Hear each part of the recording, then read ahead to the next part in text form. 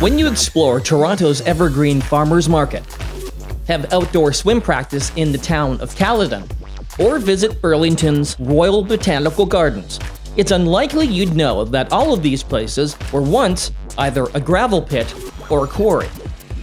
That's because the stone, sand, and gravel industry has been rehabilitating former work sites for years. In fact, they have to. To get a license to extract sand and gravel or stone in the province of Ontario, you need a, an approved site plan, and that site plan includes a rehabilitation plan that's approved before you take the first spoonful of gravel out of the site. Rehabilitation of a pit or quarry is the process of restoring the land from what it looks like after all the stone, sand, or gravel is removed into its new use.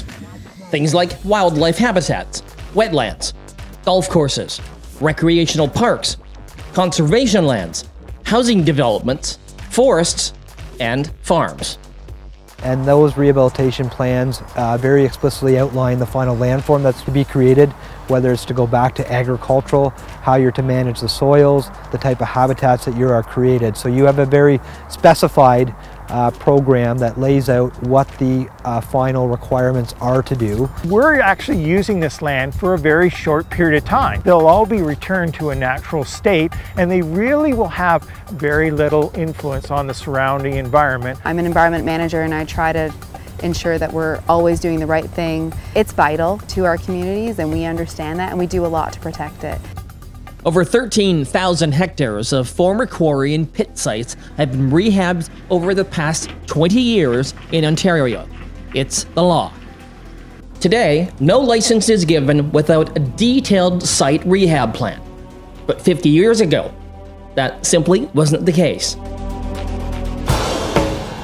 I look at really old aggregate sites. This is a former quarry. 70 years ago, this would have been a very active site. The site would have been would have shut down and would have been left in sort of an unrehabilitated uh, condition, not like what we would see today. But the quarry excavation has filled up uh, provides uh, a lot of habitat for waterfowl, fish. The broken rock also provides habitat for uh, a lot of snakes. Mother Nature did it herself. You know, we can look at this and say, okay, what, what's working here? What's not working here? What can we do at our sites to make them come back like this more, more quickly, more productively? But this industry is not letting these sites just sit there. Producers pay a fee for every ton they extract to help rehab some of the older sites from a past era. This is done through the MAP program, which is administered through the Ontario Aggregate Resources Corporation. Rehabilitation specialists work with owners of old sites to clean them up. Some are naturalized, simply letting nature take over while making sure the areas are safe. Others are turned into agricultural lands. Once upon a time, um, it was uh, very common for a quarry just to be a, a lake. Today's day and age, um, you know, there's a big call to progressively rehabilitate and, and uh, make our sites uh, match the environment that they're in. On site here, we have about 100 acres of vineyard and we have approximately another 100 acres of agricultural land which are currently farmed. We progressively rehabilitate. That means starting site rehab early, while it's still in operation beginning to restore the land to a former use, a new use, or a condition that's compatible with the surrounding landscape. Doing this throughout the working life of a site makes sense for a lot of reasons. It's in the best interest of a company economically to have a phased progressive rehabilitation approach. When you're stripping the topsoil and the subsoil from that area, you're immediately placing it into an area that's been extracted. You're moving the earth once instead of twice. Good rehabilitation pays for itself. The material doesn't sit in a stockpile uh, for years and lose its, uh, its biological viability. And to show progress is just something that society wants to see. And good site rehab means you might not see it at all. This country road in Wellington County cuts through a former sand and gravel pit, now farmlands. The scenic windy drive through Caledon's popular Forks of the Credit goes through a former quarry site. And tucked in behind this forest in Milton, adjacent to an active limestone quarry, is a vibrant wetland. Uh, what we're going to be looking at is a rehabilitated wetland area. It's about a 35 hectare area and this is an area that has already been historically extracted. This rehabilitation qualified for redesignation in the Niagara Escarpment Plan to go to escarpment natural area and that's the most prestigious and the highest order environmental designation. When you go through and look at a lot of these sites, you would be astonished that these were formal gravel pits. You know, we've created wetlands, right? We have a mitigation system that recharges the groundwater so that we're supporting Jefferson salamander habitat. We do monitoring for all kinds of bird species, butterflies, bees. I think seeing your progressive rehab is what surprises people because you can talk about it, you can show photos.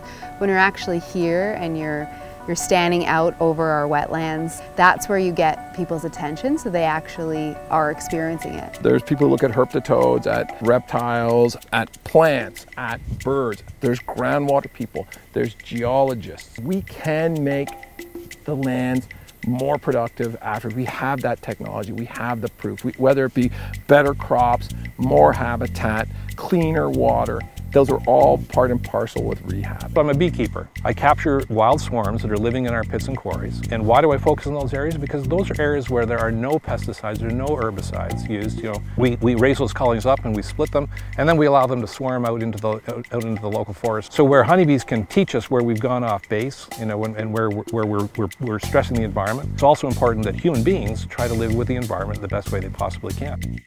Not only does effective site rehabilitation aid with biodiversity, it can sometimes even help create local businesses that can contribute to both the economic and ecological health of areas surrounding former pits and quarry sites. We're at the CBM Izumi Aquaculture Fish Farm. So this aquaculture site grows rainbow trout for the local market. The lake is the uh, water source as well as where the dissolved fish waste is going to help support the growth of, of plants and animals. It's giving us that nutrient in the most natural form to create a, a, very diverse and productive ecosystem. And this business is helping us with rehabilitation. It, it's a, a new and innovative use that provides local food, local jobs, and an enhanced environment. So originally where we are standing here today used to be uh, former uh, agricultural uh, use and there grew a range of crops here in this area. And when we decided to license this area because it had a pretty good sand and gravel deposit, we established on our site plans how that final agricultural field would look. The final plan was to return this area back to agricultural. It only took three years to fully extract the resource and rehabilitate it back to agriculture. So, what used to look something like this can now look like this. But despite all of this successful rehab, public perceptions about this business can still be a challenge. We're not big corporate monsters. We're responsible stewards of the land. The environment is our business, so our business needs to be in the environment. It takes an understanding of both the communities that host the aggregate operations and the aggregate producers themselves that collectively they've got to work together towards a long-term solution that looks at what is truly the public benefits that can arise from these sites to better our communities in the future going forward. I take a huge amount of pride in how well I can create a, a high-end environment that blends in with the natural landscape. My goal in rehab is to leave things in a better condition when we're all done. It's not always perfect, absolutely. It's never easy. Um, I don't think it's supposed to be. There's a lot to do in terms of protecting the environment, a bit of an environmentalist at heart. So I think that my friends always just think like, oh yeah, she's saving the planet, right? One, one site at a time, having that balance of leaving something enhanced, something better behind. It makes me, you know, happy about the work that I do every day. So, the next time you take a walk in parklands, enjoy a serene moment in nature, or simply look out the window onto your subdivision, you might just be sitting on the site of a quarry or gravel pit from the past that's been transformed into something brand new for all of us.